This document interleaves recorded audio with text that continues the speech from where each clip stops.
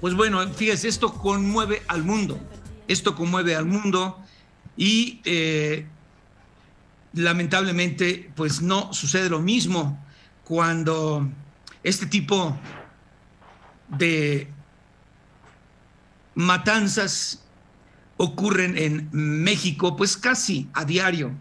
Pero el que se lleve a cabo en un país como Estados Unidos, donde existe el Estado de Derecho y se respetan las leyes, bueno, pues provoca una, una, una conmoción.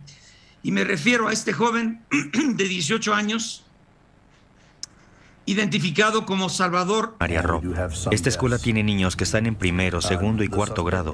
Tenemos varios heridos, adultos y estudiantes, y muertes. El sospechoso ha fallecido. En este punto, la investigación nos dice que el sospechoso actuó solo en este crimen. El gobernador de Texas, Greg Abbott, eh, quien está a favor de la aportación de armas, pide a los tejanos mantenerse unidos y promete una investigación profunda sobre los hechos. Uh, uh, Haremos todo lo necesario para asegurarnos que escenas como esta no se repitan en el futuro. Seremos capaces de reforzar la seguridad de nuestras escuelas. En este colegio toman clases más de 500 estudiantes de educación primaria. Hablan algunos padres de familia. Mandaron al hospital, y otra vez aquí, ni nada, ni en San Antonio. No nos dice nada, nomás una foto y esperar. Esperemos que todo esté bien. Al momento que me avisaron, quise correr hacia la escuela porque mi hija está en cuarto grado.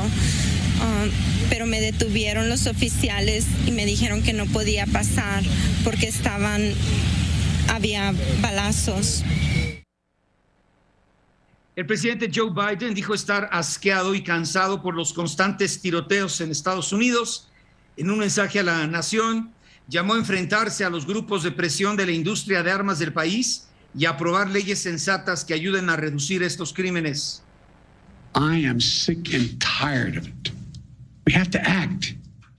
Estoy harto y cansado.